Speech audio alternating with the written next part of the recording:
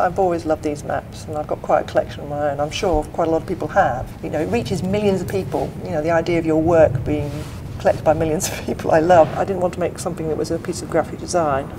So it's just taking the very familiar map and making it a little bit more emotional. I always loved that um, poster that Tate did. It was called Tate by Tube and it showed lots of squirted out tubes of paint um, of different colours denoting the lines.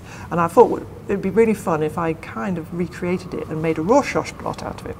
Rorschach blots were a psychoanalytical tool. Um, ink blots were shown to the patient and, and, the patient would say what they saw in the blot and they were usually abstract forms.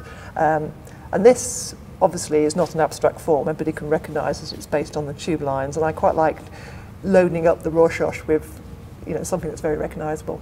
So the idea of taking the Tate by tube poster and, and folding it in on itself and then uh, people be able to see a squishy, painterly uh, tube map. So what I did was I made lots of very wet uh, paintings of the tube map with paint and from memory so they were not very factual really but they just were kind of got more and more sort of um, shorthand the, the more I did them and then I made blots out of them.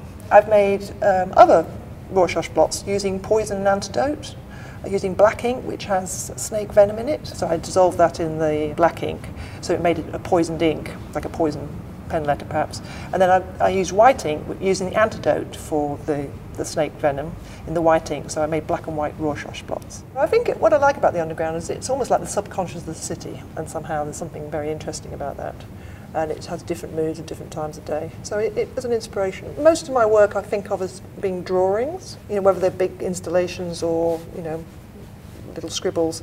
And so uh, I think this is sits very comfortably in my oeuvre, especially when I, I use very often quite famous or iconic landmarks in my work. So this is a very iconic thing, I think, the, the tube map.